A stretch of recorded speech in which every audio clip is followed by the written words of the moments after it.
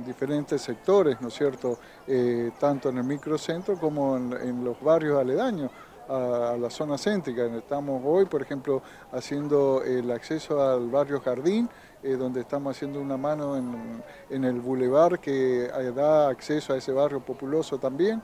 Y, bueno, estamos trabajando en diferentes sectores, en diferentes avenidas, tratando de darle transitabilidad a, toda este, a todos los vecinos de la ciudad de Posada.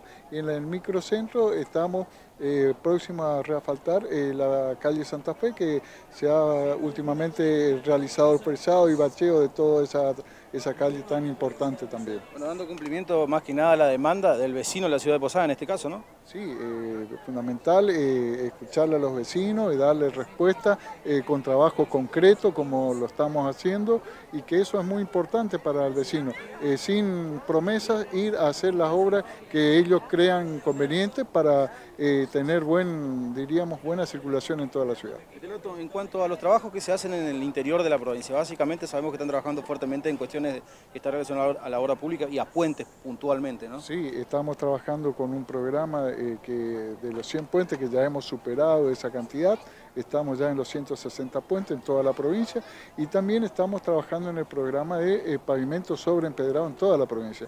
Eh, son mil cuadras que el gobierno provincial ha contratado y eh, está llevando adelante este programa. Hemos ya trabajado en diferentes localidades, como el caso de Capiovirro y de Montoya, Bernardo de Irigoyen, San Antonio, estamos trabajando en Iguazú, en Monte Carlo, en fin, en diferentes localidades, en San Javier también. Y yo creo que es muy importante para darle un buen pasar a todos los vecinos y ciudadanos de la provincia de Misiones. Una particularidad en que, considerando de que estos trabajos se realizan en el interior, también se hace un trabajo fuerte en conjunto con el municipio en este caso, ¿no? Sí, eh, siempre estamos trabajando con todos los municipios, eh, primeramente coordinando con ellos las prioridades, con el intendente que nos marque las prioridades de sus localidades, para ir a hacer eh, la obra después, ¿no es cierto? tanto en la ejecución de los puentes como en la prioridad del asfaltado de las calles. También estamos trabajando en la localidad de Oberá, que recientemente estamos eh, terminando eh, creo que más de 25 cuadras, que seguramente serán más, pero que hoy estamos en esa cantidad.